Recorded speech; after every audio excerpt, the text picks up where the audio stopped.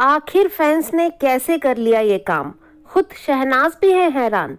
पूरी बात बताएँगे आपको अपनी इस वीडियो में कि अब क्या हुआ है खास। तो वीडियो को एंड तक ज़रूर देखिए। लेकिन उससे पहले आप हमारे चैनल को ज़रूर सब्सक्राइब कीजिए और बेल आइकन को भी ज़रूर प्रेस कीजिए।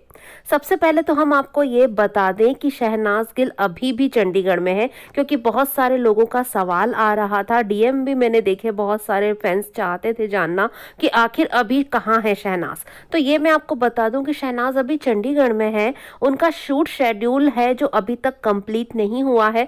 दस से ग्यारह दिन उन्हें चंडीगढ़ में ऑलरेडी ऑलरेडी हो चुके हैं और आगे कितना टाइम उन्हें रुकना है, ये तो हम नहीं कह सकते। लेकिन हाँ एक लंबा टाइम पीरियड शहनाज को वहाँ रुकना पड़ेगा, क्योंकि एक ये जो बहुत बड़ा सा शेड्यूल है इस मूवी के शूट का, वो उन्हें कंप्लीट करना है और इस वेदर के अकॉर्डिंग शूट अभी ही करना है। तो Shehnaaz back to back shoot में बिज़ी हैं।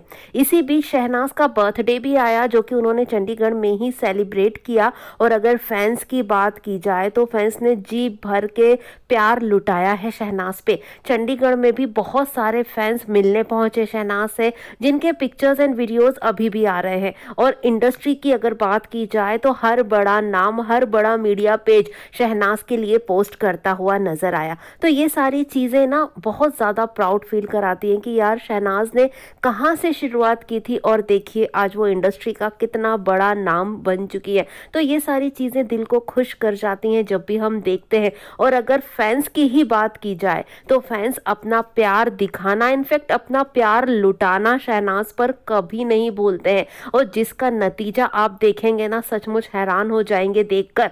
वर्ल्ड वाइड शहनाज गिल लगातार ट्रेंड करती रही उनके बर्थडे पर। यह टैगलाइन आप देखिए hashtag happy birthday Shehnaaz Gill.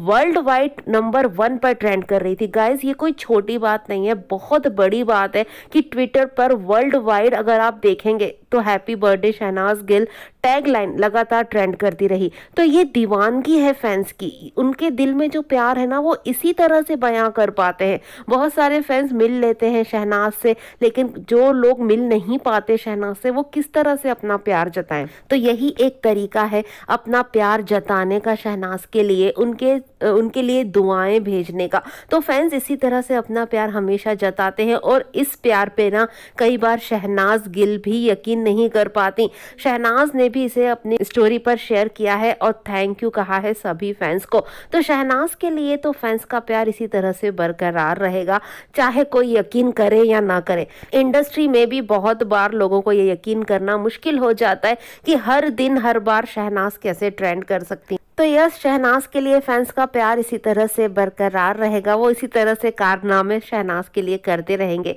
Well well guys आपका क्या है? इस पर कहना कमेंट में। आकर हमें ज़रूर बताएँ, वीडियो को लाइक और शेयर ज़रूर करें।